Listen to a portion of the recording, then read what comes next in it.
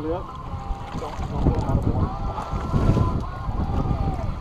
It's big.